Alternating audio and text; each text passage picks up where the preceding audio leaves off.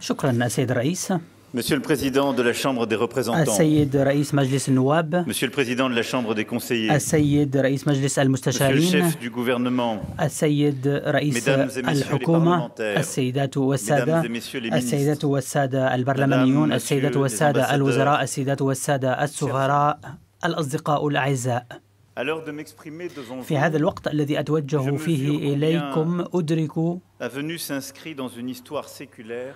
مدى هذا التاريخ الذي تم النسج فيه مصيرا مشتركا. حوار يعود إلى عصور قديمة.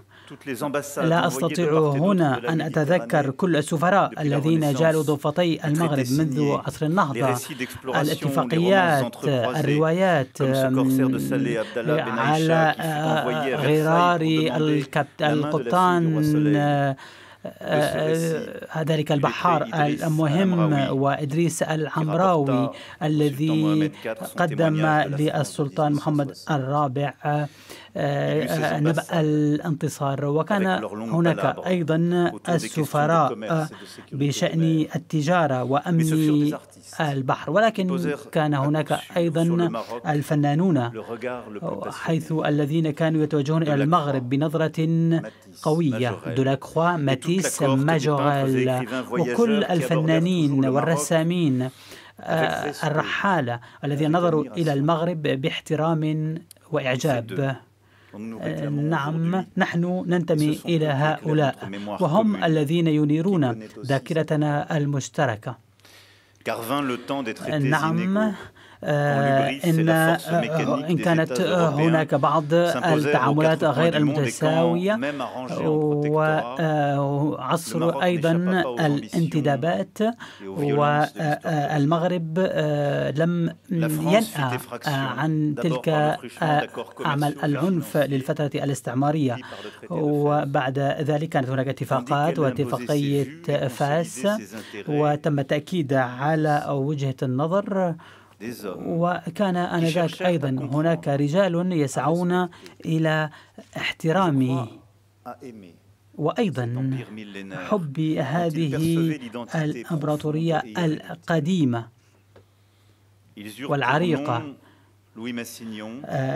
من بين هؤلاء لوي ماسينيون جان بيرك وإلى حد ما أوبر ليوتي ولكن مع ذلك الجمهورية كانت عمياء بشأن ما كان يحدث لدى الشباب المغاربي والذي سيمثله لاحقا محمد الخامس وبعد ذلك هؤلاء الرواد الذين شكلوا لجنة فرنسا المغرب مع فرانسوا مورياك وفرانسوا ميتيران وقاموا بدعم مع أميدي لوفيرف من أجل بناء كنيسة مدلين من أجل تحرير المغاربة. هذا هو التاريخ. التاريخ يستذكر أيضا شجاعة ماروك بريس. أنطوان مازيل في عام 1954 من أجل إعادة السلطان الذي تم نفيه إلى مدغشقر. وكل هؤلاء الأحرار الذين سيمهدون الطريق نحو المستقبل. نعم هؤلاء الأحرار مع جاك بيرك في إطار الوجدان الفرنسي في مركز جان فيدرين الذين سيقوم بوضع الأسس الأولى في هذا المجال. نعم احتاج الأمر إلى مسؤولين أساسيين مع السلطان محمد الخامس قبل أن نعود إلى المنطق والعقلانية وأن عام 1955 إعلان سان كلو. بدأ عهد جديد. نعم آنذاك المغرب وفرنسا.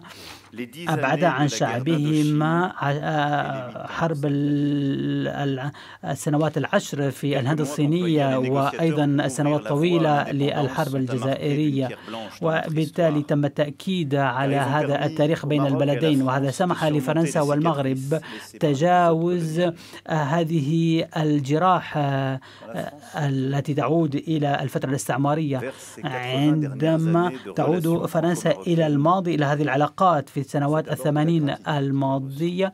تشعر فرنسا بالامتنان لكل هؤلاء الرجال الذين جاءوا من المغرب الذين جاءوا لفرنسا لتحرير فرنسا في منطقة بروفانس في وادي دورون وحيث أيضا كل قوات فرنسا الحرة التي التزمت وفي كل مكان كانوا هؤلاء المواطنين بزيهم وبأسمائهم المختلفة دفعوا دماءهم من أجل حريتنا.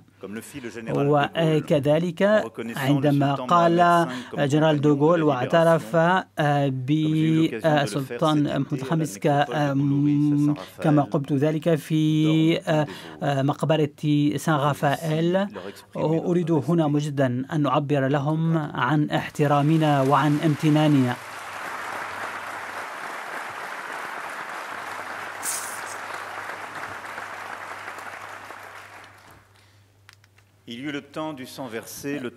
إذا تلك التضحيات وتلك الحروب. ولكن كانت هناك أيضا فترة لقوى الحية من أجل السلام عشرات الآلاف من المغاربة الذين ساهموا بعد الحرب في بناء فرنسا وفي نشاطها الصناعي. عاصمتنا مناطقنا مدننا مرسيليا ليون وتولوز لافغ ومونبلييه ليل ميس غرونوبل نابل ومدن أخرى.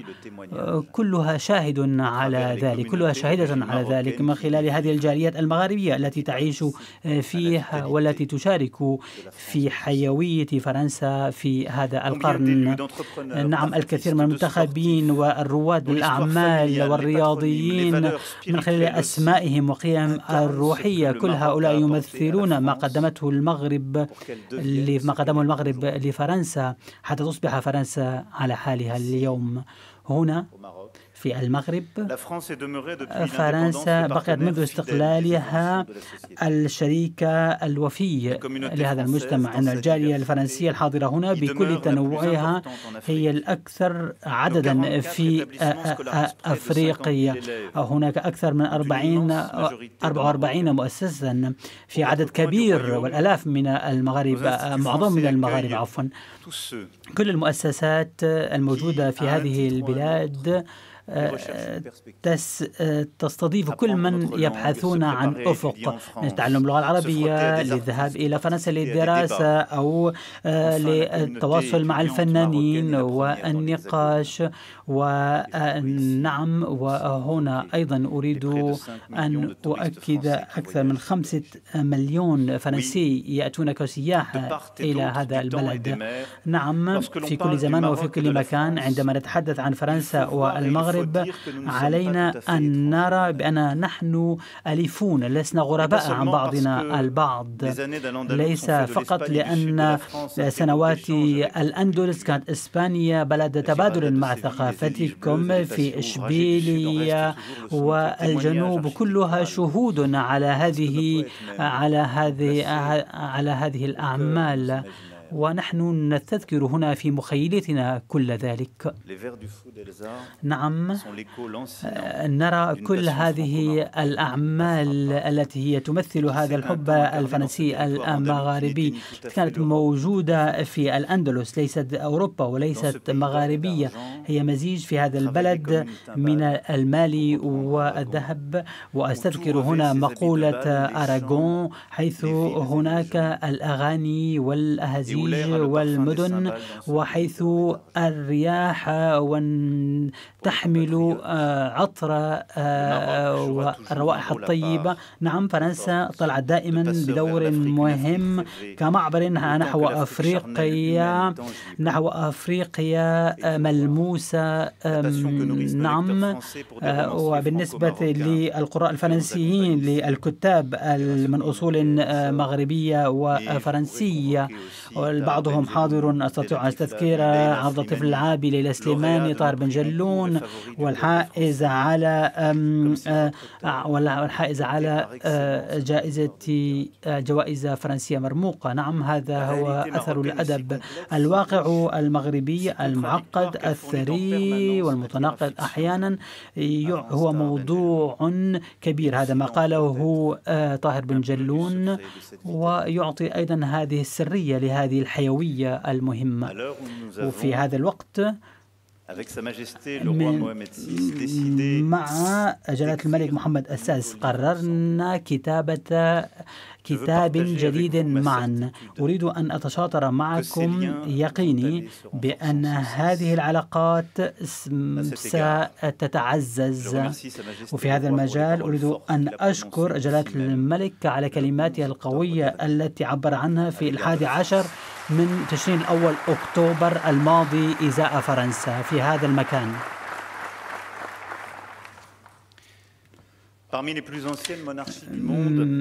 إحدى أعرق الممالك في العالم المملكة المغربية تتقدم بثقة. هذه الثقة بنفسها وبمالكها أن هذه الثقة بالتاريخ وبهذه هذا الشباب الذي يود مواكبة انبثاقها. أنتم أيضا تمثلون شعبا من خلال إرادة الملك. يؤكد على التنوع الحوار التسامح لتكون قيما داخل الدستور وداخل المؤسسات. إن إسلام التسامح الذي ينادي به أمير المؤمنين جلالة الملك يمثل تحديا لكل أشكال التطرف. هذا الغنى في المغرب وهذا التنوع في عالم يسوده تسود الحروب واللا تسامح هذه هي القيم التي تتقاسمها فرنسا بقوة والتي تؤكد على النهوض بها في أوروبا كجهة فاعلة على المسرح الدولي. ولكن من خلال بقائه بوتقة للتنوع الثقافي والفني والفكري. وبفضل كل أولئك الذين ساهموا في ذلك. 25 عاما مضت منذ أن اعتلى آه، آه، الملك محمد السادس العرش آه، في إطار أعرق السؤالات في العالم وأحد وجوه التقدم التكنولوجي والصناعي أمامنا. وخلال ال 25 السنة القادمة هناك كل التحديات وكل الأمكانات. من خلال التأكيد على هذه العلاقات علاقات صداقة في هذه الذكرى أرى في ذلك فرصة. لا بل ضرورة لكتابة هذا الكتاب الجديد من أجل مواجهة هذه التحديات. هذه آه، آه، فرصة وهو واجب استراتيجي أن نقوم بالبناء بين بلدنا ولكن أيضا بين الاتحاد الأوروبي وبين المغرب والمنطقة المغاربية وأفريقيا أن نقوم بكتابة مشروع من أجل التأكيد على إمكانية أفق جديد. للأمن. وقيل الكثير في هذا المجال في إطار يوروميد أو الاتحاد من أجل المتوسط من بين مبادرات أخرى. وعلينا أن نؤكد هنا بأن الثمار لم يتم الوصول إليها بسبب الاضطرابات في شرق المتوسط وما حدث في ليبيا وفي منطقة الساحل وفي المنطقة المغاربية. وبالتالي فإن هذه هذه الفترة. هي حافلة بالمسؤولية وبالأمل الجديد. أن المغرب وفرنسا من مصيرهما إرساء شراكة استثنائية معززة بين بلدينا وأن نقترح للأجيال القادمة خلال ال 25 القادمة هذا الكتاب الجديد ببصيرة ببصيرة بشأن الماضي ولكن متوجهين نحو المستقبل. وهذا الفضاء يجب أن يكون نظاميا. كل الشركاء يقبل أن يكون ضامنا باحترام والتزام. أفكر بالهجرة غير النظامية وضرورة تنظيم سلس في المجال القنصلي. الكل يدرك هنا بأنها مسألة ثقة متبادلة. هناك توقعات من التطلعات لدى الفرنسيين. نحن نطلع إلى المزيد من النتائج ونفكر هنا فيما يتعلق بالتعاون في مجال الأمن ومكافحة جميع أشكال الإتجار الانفجار التي تؤثر على مجتمعاتنا وعلى دولنا. مكافحة الإرهاب أيضا الذي يجب أن يستمر في اتحادنا ومكافحة الجريمة المنظمة أيضا ولا سيما ضد المتاجرين مهربي المخدرات ونحن بحاجة إلى عمل قضائي عن كثب وأوثق نحن نعم الناضلة معا من أجل بناء فضاء مضبوط للأمن والسلامة. هذه الأعمال من شأنها أن تسامح في هذه الشراكة الاستثنائية من أجل الدراسة والعمل عدة أيام عدة أشهر عدة سنوات من أجل نسج العورة بناء على بناء على إطار واضح طموح قائمة على قواعدنا المشتركة للسماح بانتقال الرجال والنساء والسلع ورؤوس الأموال من أجل السماح بالأفكار والمواهب أن تتنقل بأريحية. يجب أيضا أن تكون فرصة لإعطاء المتوسط مهمة لتكون مهمتها الأساسية لتكون همزة وصل إن لم نقم بذلك وإن لم نخيل ذلك وأن فقط قمنا بالتعامل مع التدفقات البشرية. هذا يعني بأننا نتنازل ونخنع ونكون في موقف سلبي. ليس هذا المستقبل الذي أريده لفرنسا لأن فرنسا هي كبيرة وعظيمة عندما تفكر بأكبر من طاقتها. ونفس الشيء وأنا متأكد بأن هذه الرؤية تتشاطرها المغرب مع بلدنا وكانت فرنسا دائما إلى جانب المغرب من أجل مواكبة ديناميكيتها الاقتصادية والاجتماعية في مجال التربية والتعليم العالي. ولكن أيضا في هذا المجال في متابعة الشركات الفرنسية الكثيرة التي وثقت بالمغرب. وهذه الشركات التي تجعل من فرنسا أول مستثمر أجنبي في هذا البلد وأول جهة تقوم بخلق فرص العمل ولا سيما فيما يتعلق بالوكالة الفرنسية للتنمية والمغرب هو الشريك الأول لها في العالم وفي استراتيجية واضحة لنموذجكم للتنمية وأيضا فيما يتعلق بالمشروع الرائع الذي أوليتم من خلال هذا المشروع الثقة فيما يتعلق بتطوير المغرب فيما يتعلق بطرق الحديث طرق السلك الحديثة السريعة نحن نواكب هذا أيضا فيما يتعلق من أجل التأكيد على خلق فرص العمل بالنسبة لشبابنا. غدا أستطيع أنا سعيد من خلال المبادرات وبعض الظهر من خلال التبادل مع قطاع ألعاب الفيديو حيث نقوم بإطلاق دورات تدريبية بدعم من مدرسة إليزاغ ولا سيما في منطقة صناعة ألعاب الفيديو التي تريد المغرب أن يس... الذي يريد المغرب أن يساهم فيها. وأريد في هذا المجال أن أتحدث عن البنى التحتية عن الطاقة وكل القطاعات التي تجعل من الحياة مستدامة فيما يتعلق بالتع... بمعالجة المياه وال النفايات والتعليم العالي. نعم شبابنا وجامعاتنا وشركاتنا تريد العمل المزيد في هذا المجال. أريد هنا في مجال نحن نبقى فيه متنافسين. هذا المجال هو كرة القدم.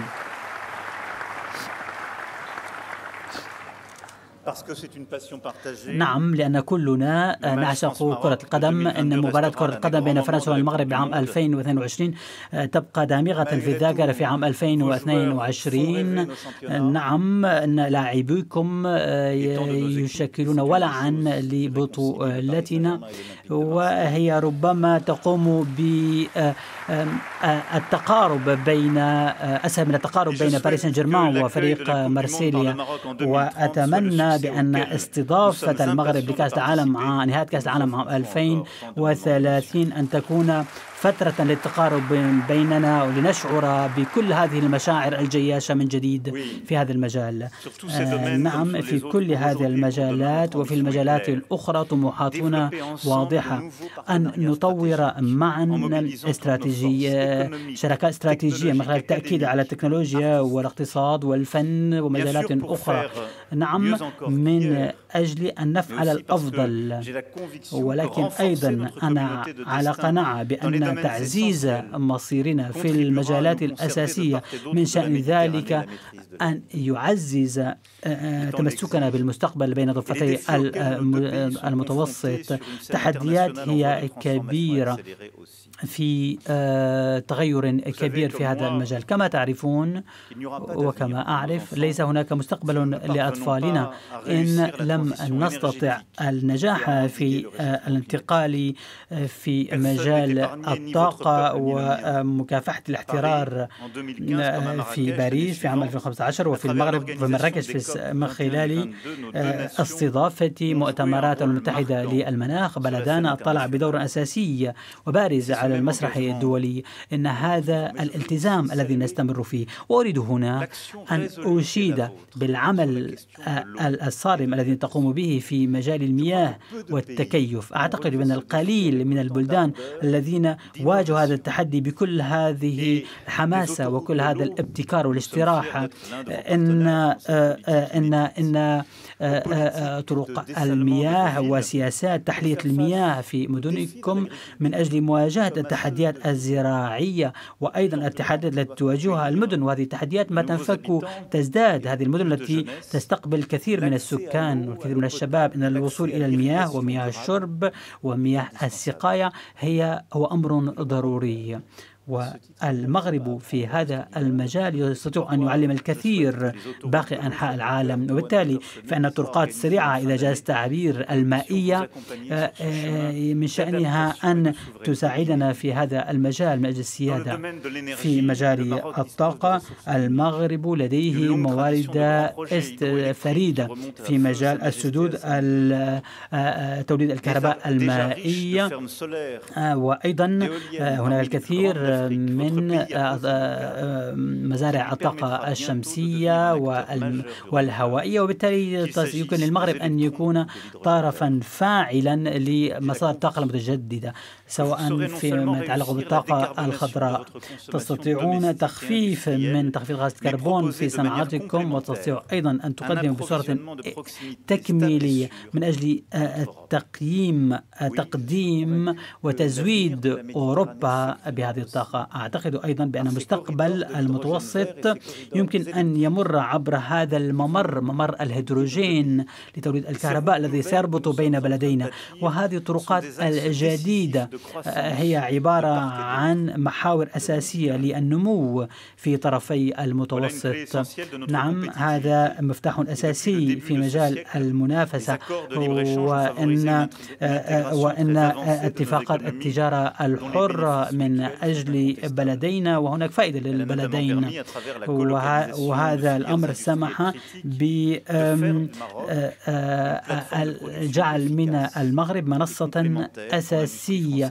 للصناعة الأوروبية والفرنسية في المرحلة الجديدة من العولمة التي نعيشها منذ فترة الجائحة وفي الوقت نرى بعض السياسات غير التعاونية من بعض الأطراف والتي من شأنها أن تتعزز في المستقبل.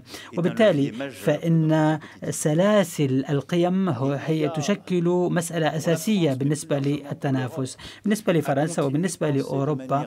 نحن نفكر بصورة مستدامة من أجل دمج قيم سلاسل القيم بين أوروبا وأفريقيا. هذا مفتاح أساسي في هذه المناطق الجيوسياسية الكبيرة من أجل مكافحة التشدد التشتت التجاري حيث بعض الأطراف قررت ذلك أصلاً.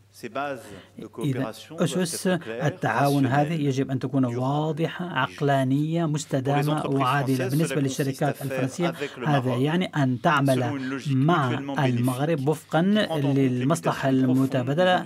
أخذين بعين الاعتبار الخدمات والجوانب الصناعية. هذه المجالات الاستراتيجية ستكون في صميم اللقاءات الأعمال الفرنسية المغربية التي سأختتمها بعد ظهر اليوم. وأنا أعرب عن ارتباط الافتتاح للمشروعات وأيضا للتوقيعات بالإضافة التي وقعناها البارحة الواحد والعشرين اتفاقا من طرفي المتوسط. نحن على قناعة بأن رأس المال البشري سيكون الأمر الرئيسي لمواجهة كل التحديات وبالتالي فإن مسائل التربية والتعليم العالي والتأهيل المهني هي أساس السياسات العمومية لبلدينا إن المغرب وفرنسا. تندرجان في هذا المكان في إطار فرانكوفونية حديثة وهذا ما قمنا بالاحتفاء به في فيلا كوتري. وهذا أيضا فرصة لشبابنا هناك أكثر من 220 مليون و500 مليون سيكون عدد الناطقين باللغة الفرنسية في عام 2050 نحن نواجه تحديا كبيرا. أولوياتنا هي أيضا هي أولويات الجهات الكبرى العالمية التي تريد أن تستغل وتهيمن على هذه الأسواق المواد الأولية ولا يريدون تقديم أي هدايا لا للمغرب ولا أفريقيا ولا لفرنسا. وبالتالي إذا أردنا أن نواجه كل التحديات التي ذكرتها التحدي المتعلقة بالمنافسة بالدمج في مجال الطاقة والمجال الرقمي والبحث في المجالات الرئيسية كالذكاء الاصطناعي في هذا المجال علينا أن نقوم بالاستثمار بصورة كبيرة في التدريب والتكوين وتطوير أنظمتنا التعليمية والتبادلات التعليمية وأن نقوم بالتكوين والتأهيل في جميع المجالات الحاسمة. نحن قررنا خلال هذه الزيارة أن نذهب إلى أبعد من ذلك وأن نقوم بإجراء شراكات أكاديمية جامعية فيما يتعلق بمهن الصناعة والصحة والرقمي في المجال الرقمي وأيضا الزراعة والأغذية. هذا مهم جدا للأمن الغذائي في بلدينا وللقارة. في كل هذه المجالات أي نستطيع أن نقوم بتأهيل المؤهلات والطاقات حتى يستطيعوا أن يسافروا وأن نحتفظ بهم. هذا تحدي أساسي. وبالتالي فأن هذا الشراكة هذه الشراكات المستقبلية يجب أن تكون يكون ملؤها الاحترام. وهذا أمر ضروري بالنسبة لشبابنا. في نفس الوقت علينا أيضا نقوم بإرساء الأسس من أجل التنقل ولا سيما في مجال البحث والمشروعات وخلق فرص وخلق الشركات والمؤسسات مبادرات اتخذت في مرحبا بها اتخذت في الأشهر الماضية ولا سيما فيما يتعلق بالتعليم العالي الفرنسي. المغاربة يحصلون على تأشيرات للانتقال ونحن نستمر في هذا العمل مع المغرب للقيام بمثال نموذجي من أجل الاستفادة من ذكائهم في مشروعات مشتركة إن التاريخ واللغة وهذه الأسس التي تم إرساؤها منذ قرون. كلها تشكل أسسا ومحاسن بالنسبة للأجيال القادمة. علينا أن نكون صريحين مع أنفسنا. إن لم نعمل في هذا المجال أي إن لم نعمل في إطار في إطار طموح خاص شبابنا. فكلانا سنخضع لنداءات البلدان الأخرى التي ستأخذ كل هذه المواهب ومواردنا وتساهم في تضعيف شراكتنا. وبالتالي لأننا لم نستطع أن نستفيد من تلك القيم كل هذه المجالات. ما أدعو إليه وما أتمناه في كل هذه المجالات التي ذكرتها.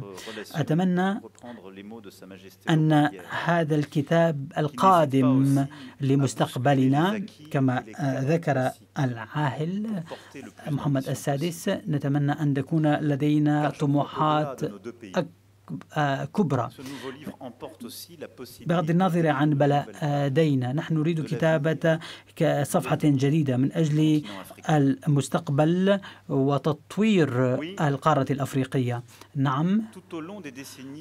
خلال كل العقود الماضية فرنسا والمغرب بقيتا صديقتان في فترة الاضطرابات وكانت فرنسا دائما إلى جانب المغرب في المسائل الوجودية التي واجهها المغرب. وأفكر هنا وبشكل أساسي فيما يتعلق بالصحراء الغربية. ففي هذا المجال أنا أردت باسم فرنسا أن أوضح رؤيتي من خلال إرسال رسالة إلى الملك محمد السادس في الثلاثين من تموز يوليو الماضي. وأنا أؤكد على ذلك أمامكم. بالنسبة لفرنسا أن حاضر ومستقبل هذه الأراضي تأتي في إطار السيادة المغربية.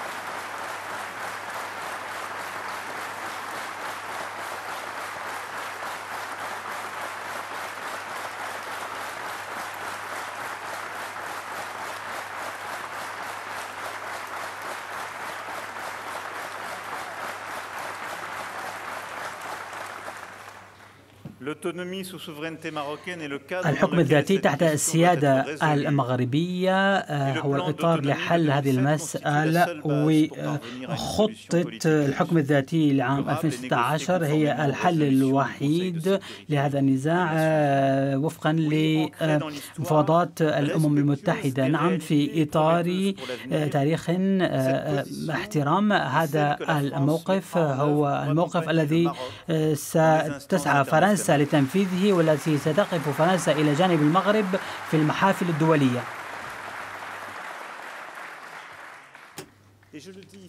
وأقولها هنا بأن هذا الموقف ليس في عداء لأي شخص. هذا الأمر يسمح بفتح صفحة جديدة من أجل التعاون الإقليمي في المتوسط مع بلدان المجاورة للمغرب ومع الاتحاد مع الاتحاد الأوروبي. وأريد هنا بكثير من القوة المشغلون الفرنسيون والشركاء الفرنسيون سيواكبون تطوير هذه الأراضي من خلال الاستثمارات. مبادرات مستدامة لصالح السكان المحليين. بين المغرب وفرنسا إنه تاريخ تاريخ بين أيدينا تاريخ منفتح نحو أوروبا ومنفتح نحو أفريقيا. وأعتقد بأن هذه الرؤية تشاطرها الملك محمد السادس. إن الحوار بين القارتين من شأن أن يفتح طرق جديدة. ليس فقط الهروب والهجرة غير قانونية وفي الاتحاد الأفريقي نريد أن نقول أن نؤكد بأن أفريقيا هي قارتي وهي منزلي كما قيل. ولذلك فأن هذه الشراكة التي نريد أن نعززها وهذه الشراكة التي أنا أؤمن بها إيمانا عميقا. الكل يدرك بأن القارة الأفريقية هي القارة التي سيتم تحديد مستقبلنا فيها بالتعاون مع أفريقيا حيث منظار الماضي قد تغير علينا بالتعاون مع الدول والمغرب مع تاريخه وجغرافيته ثقافته ورؤية آه، آه، قادته المغرب يؤكد على مصيره كهمزة وصل كمنصة كطريق فريد إن, استق... إن... إن استقراره آه، واستدامته هي ميزات نحن نقر بها وبالتالي من شأنها أن تفضي إلى مباراة مشتركة. ولذلك فإنني أؤمن إيمانا عميقا بأننا معا علينا أن نعمل وأن نشرع وأن نستطيع أن نستلهم من بلدكم ومن عملكم في الصحراء وفي الساحل نعم في هذه المنطقة. نحن بحاجة إلى استقرار يحترم الشعوب ومشروعات لصالح الشباب.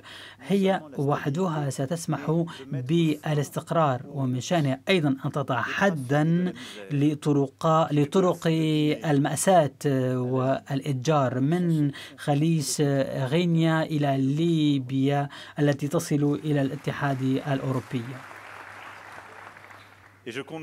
وبالتالي أنا أعول كثيرا على هذه الاستراتيجية الجديدة التي فيها نستطيع أن نعمل في هذه المنطقة حيث فرنسا بكل تواضع تسعى إلى بناء شراكة استراتيجية جديدة تم اتهامها آه، آه، ظلما. في هذا المجال هي واجهت وواجهت بعض الخلافات و وساهمت في إبقاء بعض الدول ضد الإرهاب. وأنا أتذكر هنا لأطفال بلدنا الذين ضحوا بأنفسهم من أجل استقرار منطقة الساحل في مالي وفي مناطق أخرى.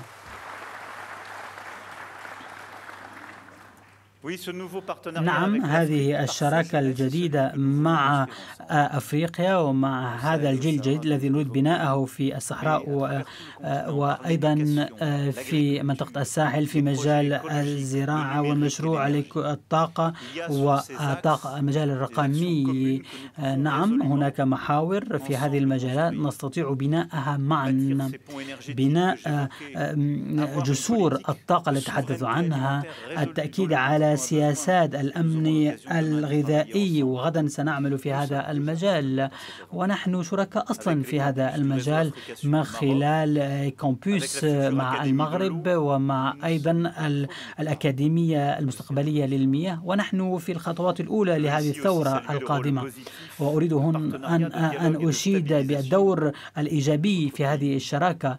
لبلدكم الذي هذا البلد الذي الدور الذي يطلع بلدكم مع الجوار. من أجل التأكيد على العلاقات الثنائية ومستقبل هذه العلاقات الثنائية وتحقيق هذه المشروعات الطموحة أنا اقترحت على الملك محمد السادس أن يكون هناك إطار استراتيجي جديد بين المغرب وفرنسا يمكن التوقيع عليه بعد سبعين عاما من اتفاقات سان كلو في إطار زيارة دول دولة يجريها إلى فرنسا العاهل المغربي محمد السادس وهو وافق على ذلك. مع العائل المغربي نريد أن يكون آه، هناك لجنة آه، آه، مشتركة من أجل تقديم أفكار اعتبارا من الفصل الأول لعام 2025 لإيجاد الملامح الأولى وبالتالي المغرب وفرنسا سيكونوا أول بلدان خارج الاتحاد الأوروبي. نحن ننخرط إلى هذا بهذه القوة في هذه المجالات. وبالتالي ستكون أيضا فرصة بأن هناك قيم مشتركة تجمع بيننا. وهذا الاتفاق من شأنه أن يقوم بحشد المؤسسات والشباب والمواهب من البلدين حتى تكون ضامنة لما نقوم بالتوقيع عليه. وهذا أمر أيضا سيسمح لنا بتسليط الضوء على تضامننا وأن نقوم بتوفيق أصواتنا على المسرح العالمي. وفي هذا المجال نحن نتوجه إلى شرق المتوسط. في هذه المنطقة من الشرق الأوسط التي هي غنية وقريبة بالنسبة لفرنسا والمغرب واليوم هي تعيش في متاهة مع كل التداعيات المأساوية. في السابع من تشرين الأول أكتوبر عام 2023 شكل هجوما همجيا قامت به حماس ضد إسرائيل وضد شعبها. وإسرائيل لها الحق في الدفاع عن شعبها ضد هكذا تهديد. إن فرنسا فقدت 48 من أبنائها واثنين من بين الرهائن المتبقين في غزة. ولكن ليس هناك أي شيء يبرر هذه الحصيلة في الأرواح البشرية في غزة ومن المدنيين. ولذلك يجب أن يكون تكون هناك وقف لإطلاق النار في غزة. وإن فرنسا من فكت تطالب بذلك منذ شهر نوفمبر الأول الماضي من أجل تحرير الرهائن وحماية السكان والسماح أخيرا بوصول المساعدات الإنسانية إلى قطاع غزة. في لبنان أيضا يجب أن يكون هناك وقف إطلاق النار وقف الأعمال العسكرية. نحن نعمل على ذلك منذ عدة أسابيع بالتعاون مع الشركاء الأمريكيين وآخرين. ولذلك وفقا لهذه الرؤية أنا دعوت إلى وقف الصادرات الصادرات العسكرية إلى لبنان وإلى من أجل وقف الحرب في لبنان وغزة. وبالتالي إن فرنسا تدعم أن نسمح للشعب الإسرائيلي والفلسطيني واللبناني أن يحصلوا على آمالهم بالأمن والسلام وأن يستطيع جميع النازحين العودة بأمان إلى منازلهم. تاريخهم تعرفون التمسك التاريخي لفرنسا بحل الدولتين.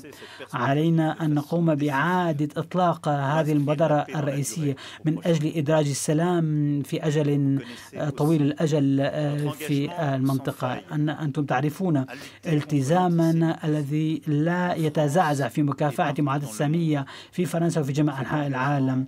إن هذا الالتزام هو التزام لا يتزعزع وأقول ذلك في إطار زيادة الأعمال المعادية للسامية وأعرف أيضا بأن هذا العمل أيضا هو من إرث المملكة المغربية. نستطيع أن نعمل معا من أجل حماية التماسك المجتمعي والقيم التي نتمسك بها. في هذا التحدي المغرب. من شأن أن يقدم الكثير. أريد هنا أيضا أن أشيد بعمل جلالة الملك محمد السادس وهو أيضا رئيس لجنة القدس وعلى التزامه الشخصي من أجل تقديم المساعدة الإنسانية السريعة للشعب الفلسطيني واللبناني الذين هم بأشد الحاجة إليها. وأحيي أيضا حشد جهوده وحشد جهود المغرب من أجل خفض التصعيد والعودة إلى الحوار وإطلاق عملية آه، سياسية ذات مصداقية في هذه الفوضى الحالية حيث هناك المتطرفون من كل طرف المغرب يحمل صوتا قويا وفريدا. هذا يبدو لي طريق العدل. fidèle à son histoire, à ses principes, une voix طريق عادل يذكرنا بالتزاماتنا وقيمنا المشتركة ويدعونا إلى الوصول وتقديم الأمل إلى هذه المنطقة وإلى هذه الشعوب التي لا تملكها اليوم. أنا أعرف بأنه في باريس وفي الرباط نحن نتشاطر الهم نفسه ونعمل في الاتجاه نفسه. السيدات والسادة البرلمانيون أيها الأصدقاء الأعزاء إن الرؤية البصيرة والمتبصرة للملك محمد السادس والإنجازات التي قام بها خلال السنوات 25 آه، آه، من تعليه للعرش. هي تدعونا إلى التوجه نحو المستقبل وحسب ما فهمتم. هذا يعني بأننا معكم وهذا ما أردت القيام به إلى جانبكم ومعكم.